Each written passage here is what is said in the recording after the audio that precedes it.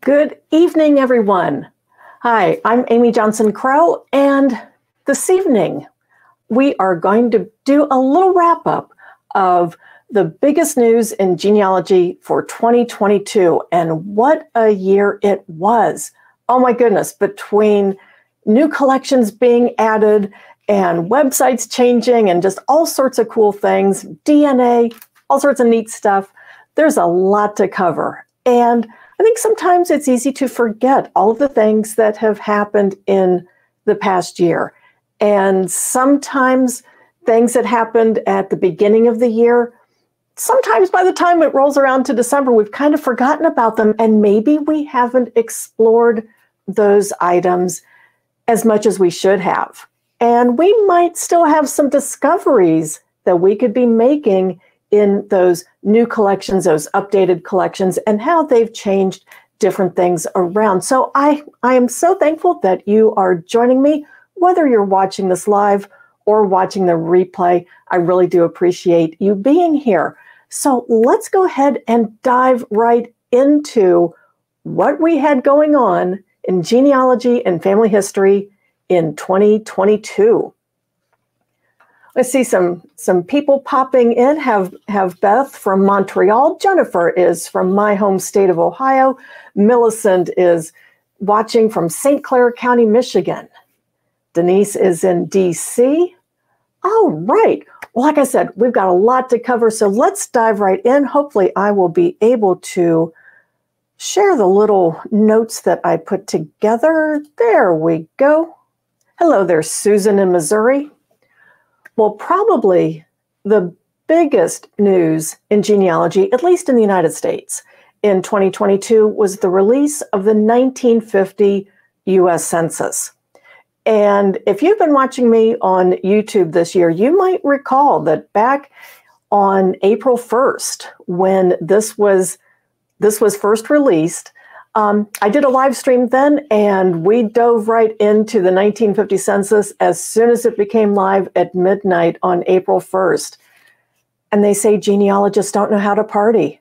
We know how to party.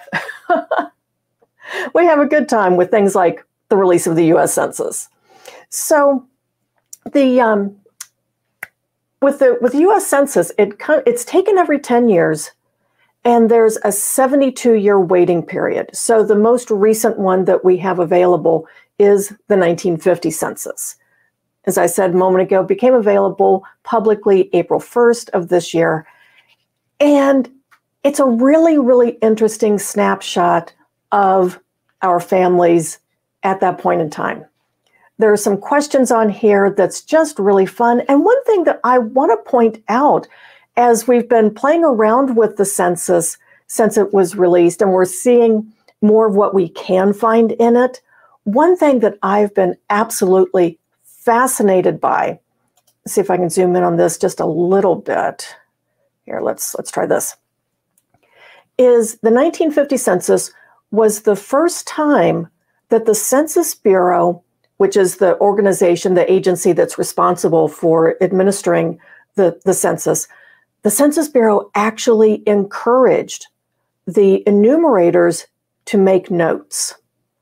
So when something was maybe a little odd or something what couldn't be quite explained just in the space that was provided for all of the little you know the little spaces for all of the questions um, they were actually encouraged to make notes on the census form and there were a couple places that these notes could appear. On this particular page that I'm showing, the notes are at the bottom of the page. On other census pages, the notes are at the top of the page, above where all the names start. Now, I actually did a video showing where to find the notes and how to match those notes to the people that are listed on that census page.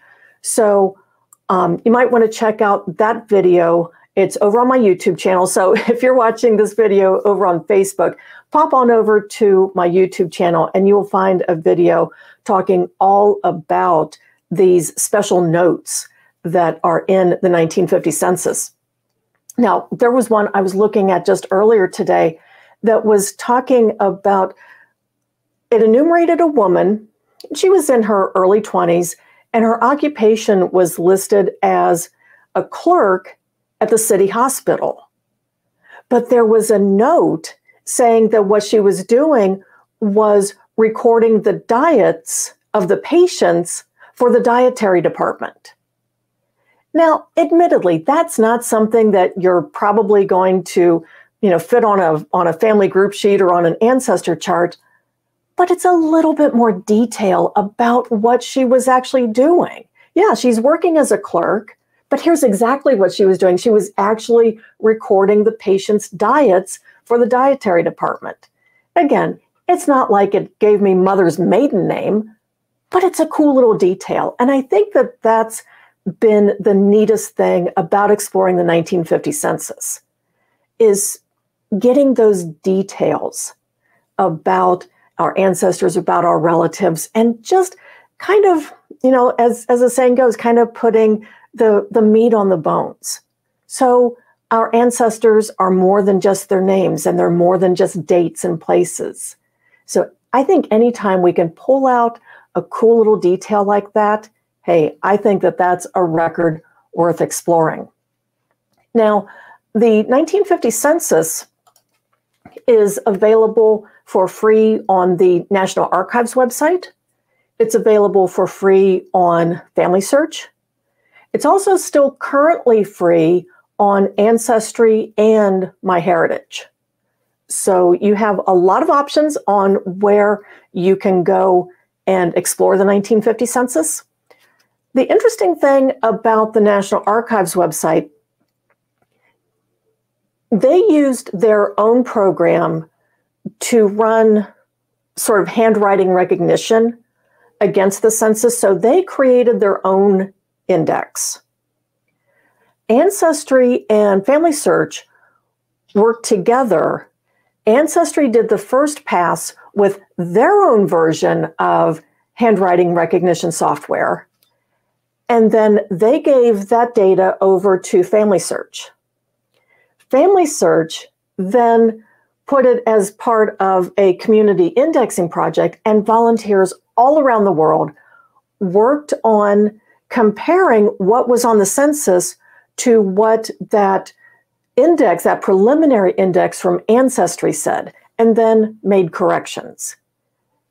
I was actually astonished how accurate the preliminary index that was on Ancestry and that Family Search was working from. I was really astonished how accurate it was. I was that was something that was not really possible 10 years ago when we released the 1940 census.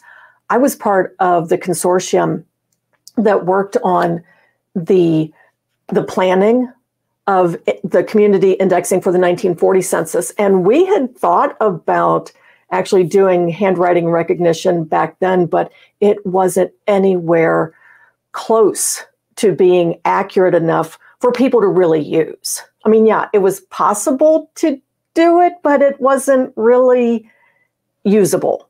And if it's not usable, what's the point?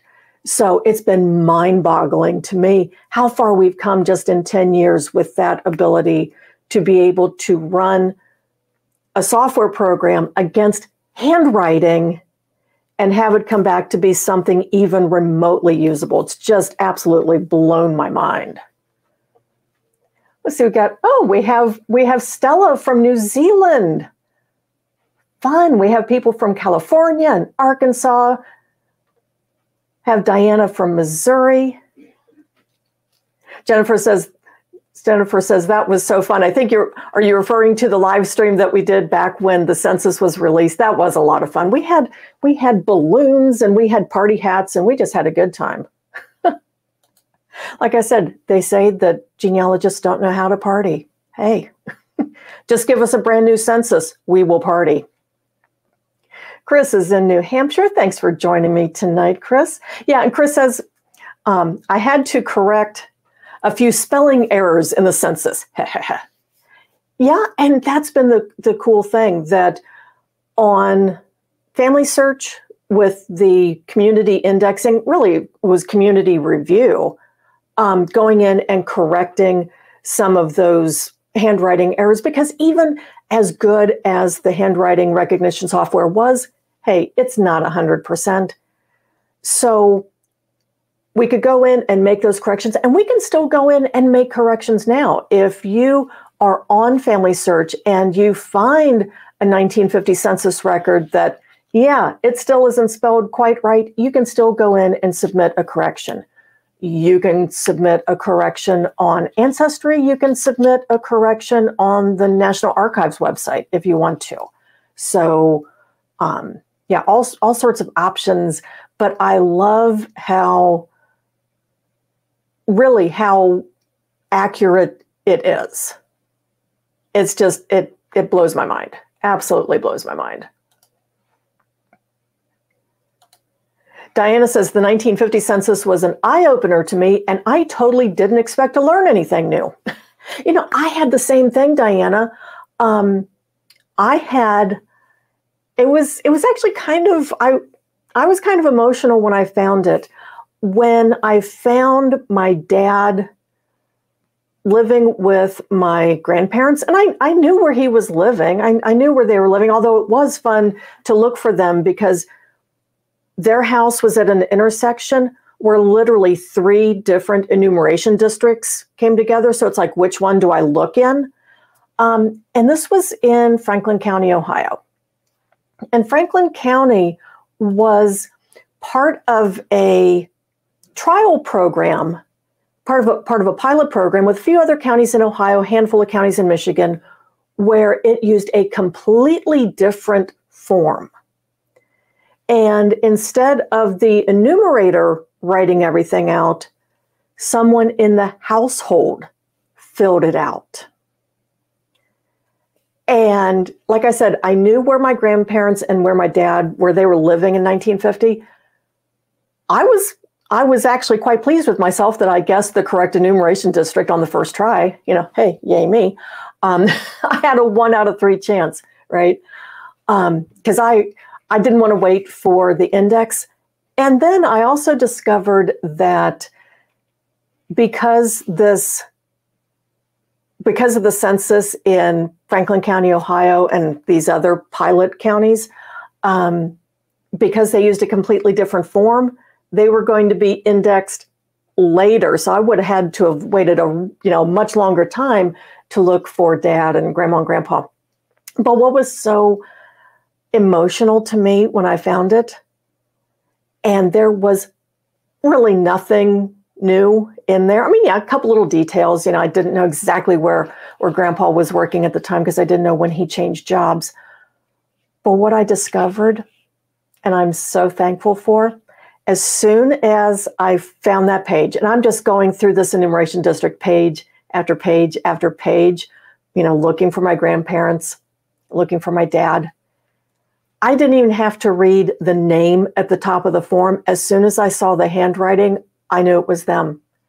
My dad was the one who filled out the census. I recognized his handwriting immediately. And then I thought about it for a moment. It's like, wait a minute, am I really reading this? Am I reading too much into this? You know, maybe that really isn't dad's handwriting. But then I sent a copy to both of my sisters, and they're like, yeah, that's dad's. that's dad's handwriting. So that that was really cool. That was really cool.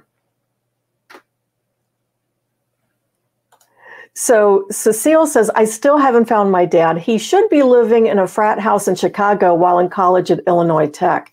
Yeah, and that's something interesting, Cecile, that for the first time, that college students who were living um, at college, you know, they were away at college, they were supposed to be enumerated at college. So he should be enumerated in that in that frat house. Um, in previous censuses, like 1940, college students, even if they were living away from home, they were supposed to be enumerated at their normal residence. So they were still supposed to be enumerated back home with mom and dad. So, yeah, that's interesting. Uh, Laura says the census taker did not count my great grandmother in, in the census. She died April 5th.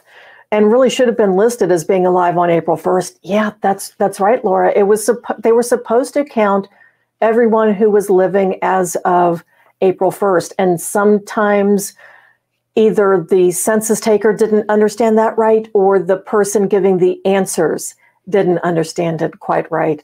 I was researching someone a couple weeks ago, and I was trying to find them in the household with their parents and doing a little bit more research, discovered that they weren't born until April 30th. It's like, really? Missed it by that much. Yeah. Missed it by that much. Yeah, thanks, Cynthia. It it was I was pretty emotional when I found it. It was it was pretty cool, I have to admit. Yeah. All right. So that was like I said, the biggest news, at least in the United States, when it comes to genealogy in 2022, which was the 1950 census. Um, again, here on my on my YouTube channel, I do have a video that talks about um, using those enumerator notes. So you might want to take a look for that. But that's not the only thing that happened in 2022. We had other things as well, including an update, and I talked about this in October when Ancestry first did this. And this was their brand new, what they call side view with Ancestry DNA. Now, when SideView first launched, it was a way of taking your Ancestry DNA ethnicity estimate and splitting that ethnicity estimate into parent one and parent two, which some people, parent one was their father's side, and some people, uh, parent two was their father's side. So it, it varies. Okay. Um, you do have to go into your own ancestry DNA results and figure out which of your parents is parent one and which one's parent two, because it's not the same for everybody. But when they when Ancestry DNA first launched SideView, it was a way of taking your ethnicity estimate and saying, okay, it looks like this much of your Irish ancestry comes from parent one, only this much comes from parent two. But oh, by the way, you know, all of your uh, Welsh ancestry seems to come from parent two, and you didn't get any of that from parent one. And that was kind of kind of interesting, kind of useful. It was very useful to some people if they had parents who had vastly different ethnicity estimates. And then it was just kind of a way to, you know, really separate that out. But where it really came in handy was this fall when they expanded SideView to not include not only the ethnicity estimate, but actually separate our matches.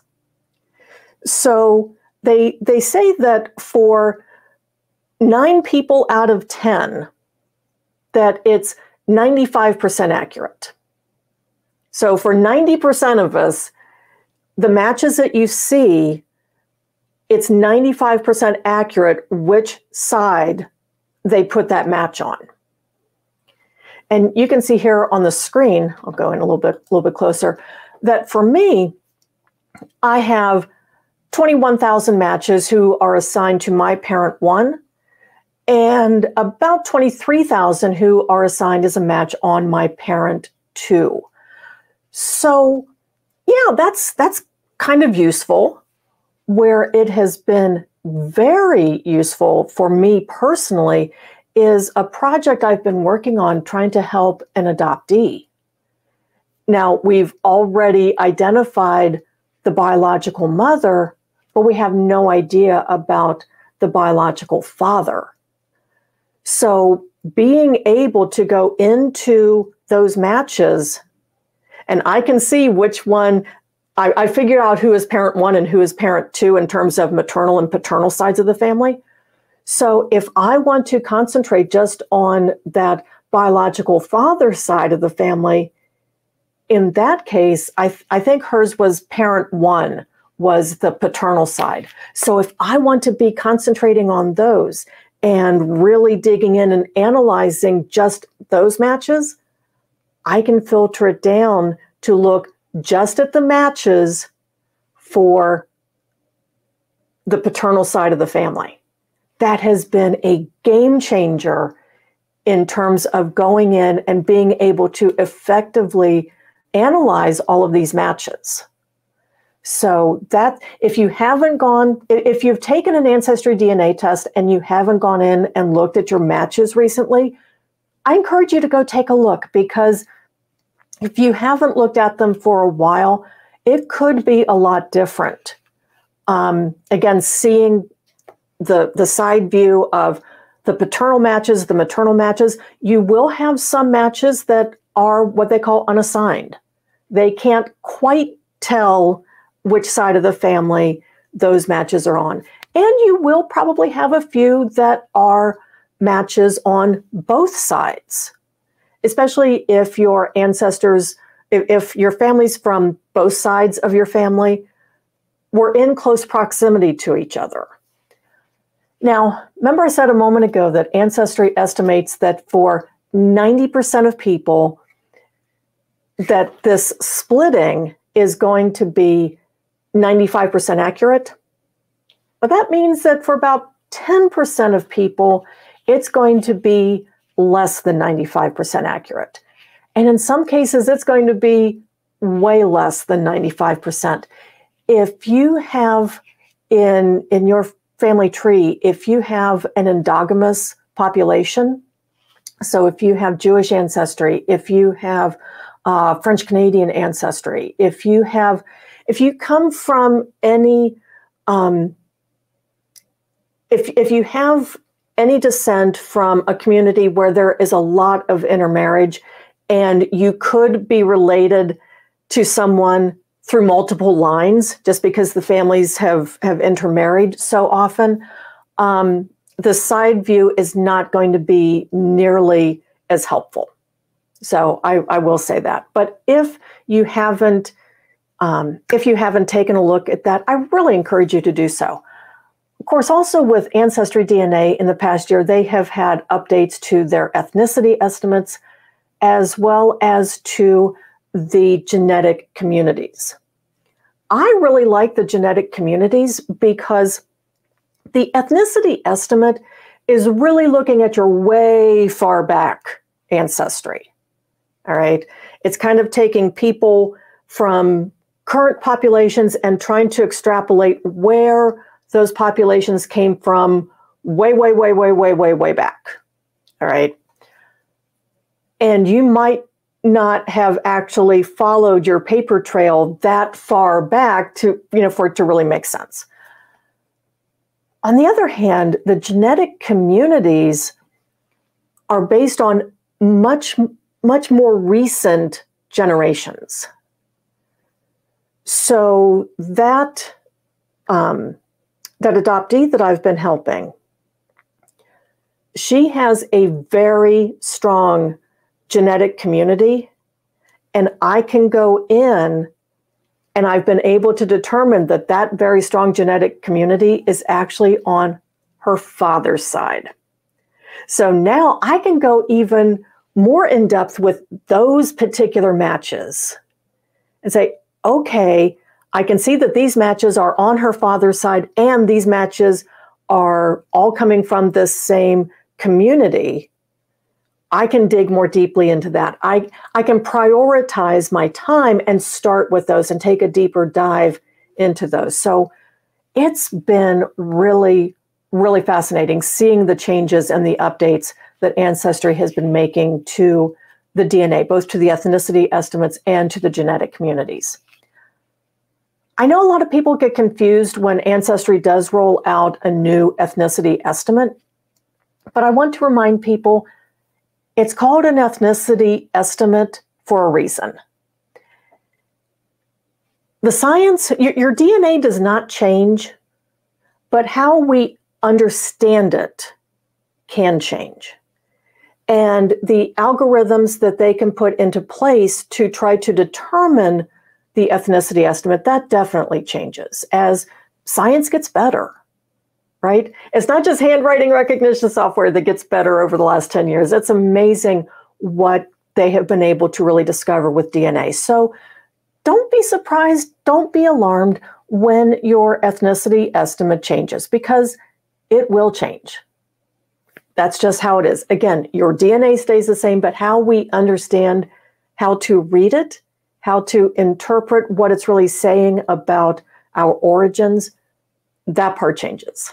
So that's, yeah. Millicent says, um, or I'm sorry, yeah, Millicent says, uh, I've been a member of Ancestry for seven years, and yes, have noticed that to be the case.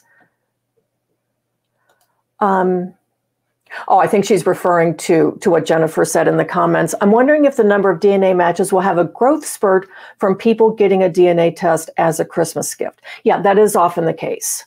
So, and also, if you are sending in a DNA kit right now, you're probably going to have a longer wait time because all of the testing companies all had sales right before Christmas. So now everybody has brand new kits and everybody's sending them in all at the same time. So it usually takes a little bit longer to get your results, but start looking like late February, March. You'll probably start seeing more matches popping up, both on Ancestry DNA and other testing sites as well.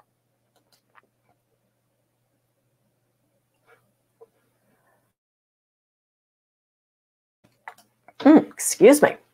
So that was that was the big thing in Ancestry DNA. Really, that side view, very very cool. If you haven't looked at it, go explore it. I, th- I think that you will like what you see there. And speaking of liking things, if you are liking this recap, if you're getting value from it, go ahead and hit that like button, whether you're watching this on YouTube or watching it over on Facebook. Go ahead and hit that like button. If you're watching this on YouTube and you want to stay up to date with the videos that that I'm doing over here about genealogy and family history, feel free to also hit that subscribe button so you can stay up to date with all of the videos that I'm going to be publishing. Got some fun ones.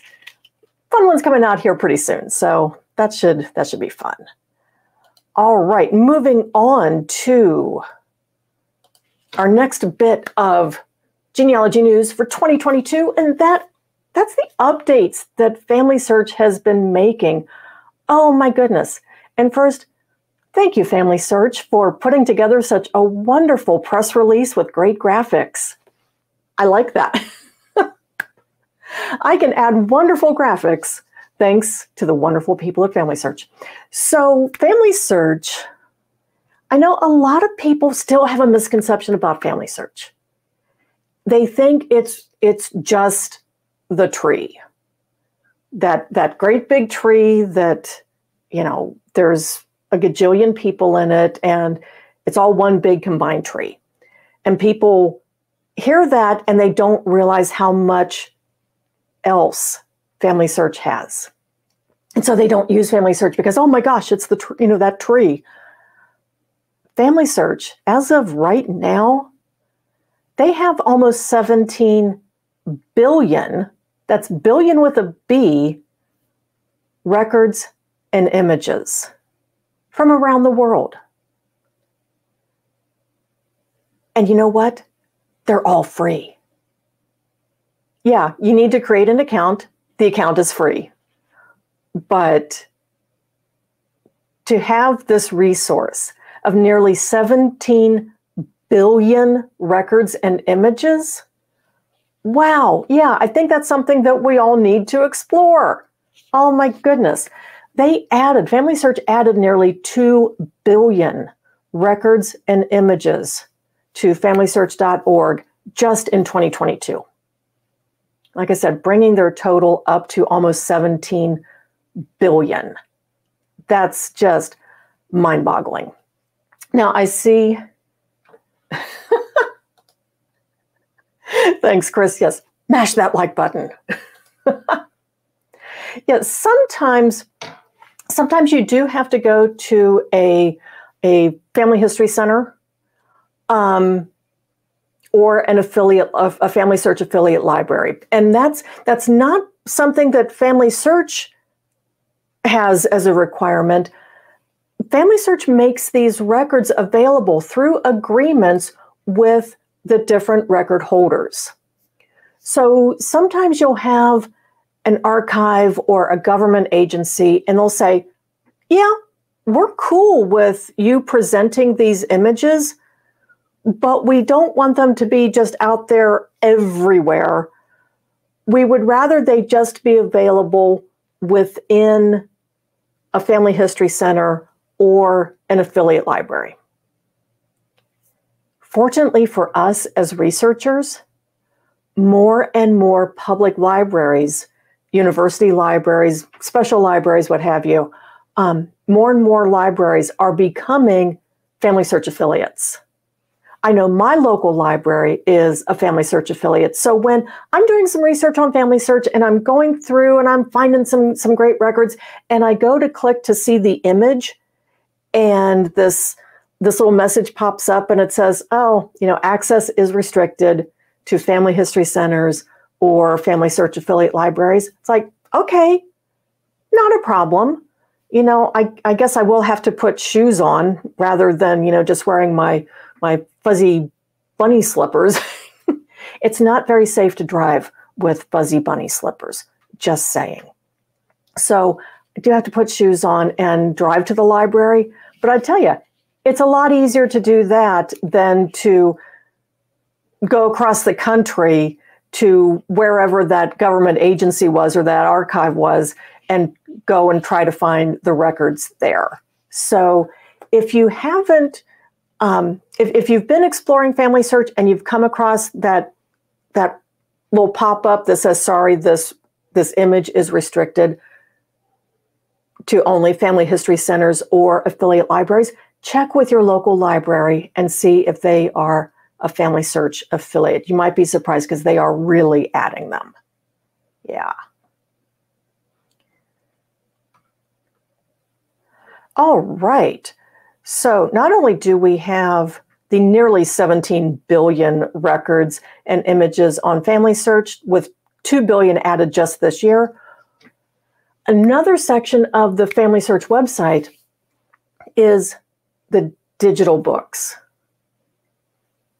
It's one of the most underutilized sections of Family Search, but they have more than 555,000 digital books in the Family Search digital book collection.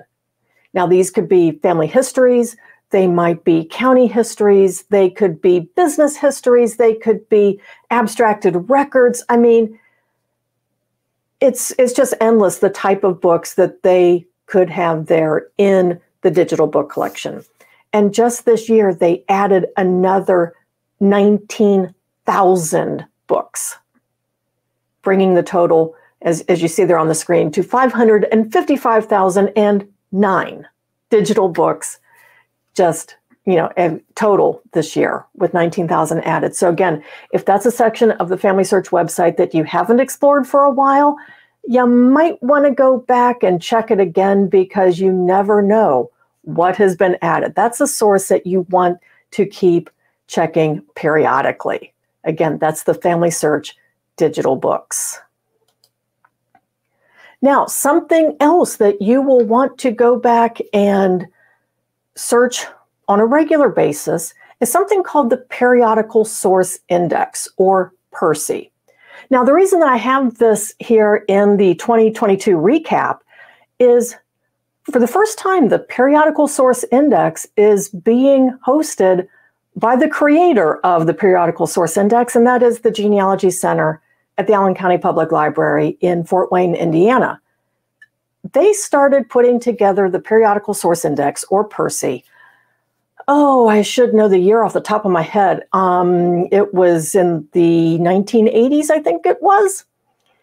And when, well, it was so long ago that when they first started putting PERSI together, they arranged it so that it would be one line it would be one record on one line, and it had to fit on an old dot matrix printer. Yeah, so it's been around a while. So, what PERSI is, if you're not familiar with the periodical source index, it's not the same as what you're probably envisioning, like those green books that we used to use when we were writing term papers back in school. And we would look up a subject and it would tell us, you know, let's say that you're researching, I don't know, um, the history of the, you know, Coca-Cola company. This live stream is not sponsored by Coca-Cola Zero Cherry. It's not. But Coca Cola, if you do want to sponsor future live streams, hey, let me know. Um, but if you were doing a, a term paper on the history of the Coca Cola company, you would look it up in those green books and it would tell you, you know, whatever periodical it had articles about it. This is not those same books. That was the Reader's Guide to Periodical Literature. But this is the same concept. It's a it's a subject index of genealogy and local history periodicals. Now, most of them are published in the United States, but they have a large number from Canada, the British Isles, and lots of other countries as well. The, and, and if you're wondering, why does the Genealogy Center at the Allen County Public Library put this together? They have the largest collection of these periodicals. So they were getting in all of these periodicals and they're realizing wait a minute, there's some really, really cool stuff in here, but sometimes these things are published in places you wouldn't expect, like the family Bible that ends up on the other side of the country from where you expected it because, you know, some descendant of another line ended up with the Bible. The family started in Virginia, but the descendants in California, so it gets published in a California periodical. That's the cool thing about PERSI, that you can use it as a subject index for all of these periodicals. And they've just released this on their website back in January, and they've already updated it twice since then. And right now it has more than 3 million records. So it's definitely worth exploring. I do want to show you just a, a quick. So I did a search earlier this evening just looking for Marion County, West Virginia school records. And there's 23 articles. Now, again, this is a subject index, not an every name index. So you do want to think about subjects. I like to look by location. Now, there is a section in PERSI. I'll go back a screen. You actually can look for surnames, but that's going to be articles about that family with that surname. It's not, so if there's an article about the uh, Skinner family reunion, you could find that, but it's not going to find a reference to Henry Skinner that just happens to be mentioned in an article about Perry County tax records. Okay, so think by topic. But with more than 3 million records, I think it's definitely worth looking at. So you get the results and you can either contact the publisher because it gives you all of that information. And oftentimes these are published by different genealogy societies, historical societies, and you can often contact those societies and say, hey, I'm interested in a copy of this specific article sometimes they'll send it to you just for the, the cost of the copy or a very minimal charge. Sometimes, if you are a member of that society, they might have their past periodicals back on you know a members only website. But going into PERSI, you know, you can kind of see what what they have, and it might be a little bit more. Um, uh, PERSI might be a better index than what that society has. Um, you can, and if if that doesn't work, contacting the publisher, you can order copies directly from the Genealogy Center there at the Allen County Public Library. I do have a video all about using PERSI, the periodical source index. So that's also on my YouTube channel. So if you go over there, you will also find that. Um, you will also find that um, the video there. Another resource that's been around for quite some time, and that is worldcat.org. it went through a major change earlier this fall. Now, WorldCat.org, WorldCat stands for World Catalog. And kind of like PERSI, where you can find things in places that you didn't necessarily expect to find them, it's the same with WorldCat. They have millions and millions of what they call bibliographic records. That's just a fancy way of saying entries in a catalog, but it's for libraries all around the world. But you want to treat WorldCat again like a catalog. So, sure, you're going to do searches for things like, you know, Skinner family or Macmillan family, things like that, but also thinking about topic. So, thinking about the name of the church that your ancestors attended or the school that they attended, thinking about just the history of that county, places that they worked, occupations that they held, other topics that would be pertinent to that ancestor, looking them up in WorldCat, and then you can find references to books, periodicals, uh, databases, microfilm, microfiche, um, database, you know, just basically, if it can be cataloged, you might find it in WorldCat. And what I love about it is, again, the fact that you can turn up some really neat things in places that you never expected to find them. I was doing research, and this has been quite some time ago, doing a little bit of research on the Columbus Buggy Company in the late 1800s, early 1900s, Columbus, Ohio was the home of the largest concentration of buggy manufacturers. And one of them was called the Columbus Buggy Company. It's like, oh, you know, I'd kind of like to learn a little bit more about them. So I was looking for them in WorldCat, and I found, I forget what year, years, like 1908, catalog of the Columbus Buggy Company and it was held in a library in Texas. I would never have looked for a catalog for the Columbus Buggy Company at this library in Texas, but I found it on WorldCat. So, this is another resource. Again, it's been around for years and years. If you haven't used it recently, the reason I have this in the recap is because it was updated this fall and they have a new interface. Um, they've changed some ways that the um, where you can sort of narrow down your search. I think it makes a little bit more sense now. They have better listings of what libraries that particular resource is held in. So if you haven't explored uh, worldcat.org for a while, or if you've never explored it, uh, I really do encourage you to take a look. And I do have a video all about using WorldCat. That's also on my YouTube channel. So, yeah, those were probably the biggest things that we had coming up in the world of genealogy um, in 2022. I mean, yeah, there were a lot of other, um, a lot of other smaller updates, but we could be talking about updates all night if I would try to cover every single update everywhere. And that kind of leads me to a point because it never fails that someone will ask me, or I'll, I'll see the question pop up on social media of, hey, what is the best genealogy website? And not to be a smart aleck about it, because I really do mean this answer sincerely. The best genealogy website is the one that has the answer to the question you're asking. Not every genealogy website is going to have everything that you need. All right.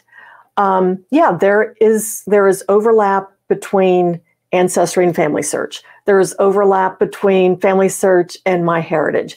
There's overlap between MyHeritage and, you know, what other website, right? So, yes, there is overlap, but different websites will have some unique content. There are things on MyHeritage that are not on Ancestry or Family Search. Ancestry has unique things. Family Search has unique things. Find My Past has unique things. And here's something else that I really want to encourage everyone to remember going into the new year. As wonderful as the big genealogy websites are, they don't have everything. And I'm not even saying the whole, oh, well, you know, it's not all online. Y'all know that. Okay. I don't, I don't think I need to sit here and tell you that not everything is online. But even the things that are online, they are not all on Ancestry or Family Search or MyHeritage or Find My Past or any other big quote genealogy website. Truly, there are countless websites out there that could have the answer that you're looking for. They could unlock that that key. It could be that that thing you need to smash down that brick wall. And I'm talking about websites like public libraries, genealogy societies, historical societies, even those little teeny tiny small historical societies that are only open the third Saturday of the month from 10 in the morning to 2 in the afternoon. Sometimes they have some really neat things on their websites. Are they going to be the biggest, brightest, flashiest, you know, most beautiful, well-designed websites ever? Yeah, probably not. But they are definitely worth looking at. Things like the state archives, the state library, their websites. It's amazing the databases and the digital images that are coming available on these other websites. Google can be your friend. Sometimes a good Google search will help you find those things in those unexpected places. So, as we go into the new year, which as I'm doing this live stream, the new, the new year will be starting in about two days. Um, as we're going into the new year, think more broadly. Think about, hey, where haven't I looked before? Or, hey, where haven't I looked in a while? Could they have more stuff there? Yeah, I used PERSI back in the day, back when, way, way back when it was a database that was hosted on Ancestry or back when it was on CD ROM. Yes, I'm a geek. I do have a version of PERSI on CD ROM. Um, if you haven't used it since then, there's more stuff there now. I encourage you to go back and look at it. And even the websites that are familiar when you have that brick wall problem that you can't quite find the answer to, you can't quite find that thing that's just going to help break those bricks apart. How often do we go back and see what has been added? What new databases have been added to Ancestry or Family Search or MyHeritage or Find My Past? What new, what new database do they have that could give you those answers that you've been looking for. So I encourage you as you go into the new year, think about that. Think about looking at new places and reviewing those old familiar favorites that we keep going back to over and over. Um, maybe do it a little bit more regularly. um, I do want to take a look at the comments. Jennifer says, uh, Family Search Roots Tech is amazing. It looks like they will be continuing the free virtual option. Yes, Roots Tech is coming up in the first weekend of March. I think that's the second through the fourth. Um, I am speaking at Roots Tech in 2023. I'm speaking there in person. So if you're going to be in Salt Lake, I hope to see you there. Registration is currently open both for the in-person option and the free virtual option. You you don't you don't need to register to watch online. At least you didn't last year.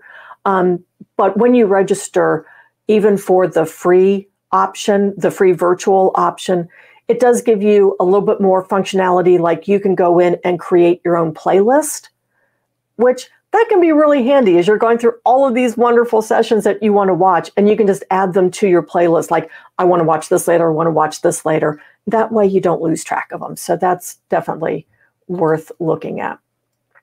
Yeah, and as Chris says, the answers could even be across the ocean. Yeah. Chris, I'm I'm betting that a lot of yours, a lot of your answers are in Italy. Just a wild guess. I, I know Chris. I know that Chris has a lot of Italian ancestry, and we've we've talked about the research that he's done there. Yeah. Um, oh, thank you, Jennifer. I appreciate that. Well, I tell you, you know, I I feel so fortunate and so blessed to to be able to do this. I I love genealogy. I love family history. I've been doing genealogy. I started I mean, I was little. I I wasn't doing research research when I was little, but I was really close with my paternal grandmother and she was sort of the unofficial family historian, even though she didn't call herself that. But she was the one who kept up the family Bible. She was the one who held the stories. She was the one who labeled the photographs. Yes, she labeled photographs. The woman was a saint. Okay.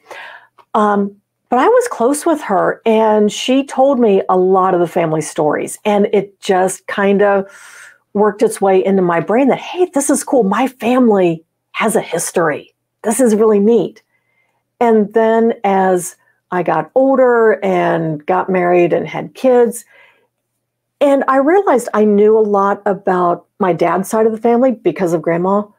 But because of family circumstances, I really didn't know hardly anything at all about my mom's side of the family. So that's really the side of the family I wanted to go discover. And that's when I started the research. And that's when I just fell into this just head over heels. And I feel so fortunate to be able to share this with everyone, to help people make those same kind of discoveries that I've been able to make. And just feeling feeling like, yeah, my family has a history. I am part of this history and and seeing people when they make that connection that to me is just the neatest most wonderful thing i i can't imagine doing anything else i just i really can't really can't. All right. Well i think that that is going to wrap it up for uh, for this particular session of genealogy news. I'm going to be doing these more regularly in in the coming year. Also going to be having a lot more videos just overall. So again if you are watching this especially if you are watching this on youtube go ahead and hit that subscribe button. So and you really want to get notified also hit that also hit that little bell that will notify you when i have new videos coming out so everyone again thank you for joining me i appreciate you being here stay safe stay healthy and make some great discoveries in your family history. And we'll catch you next time. Bye bye.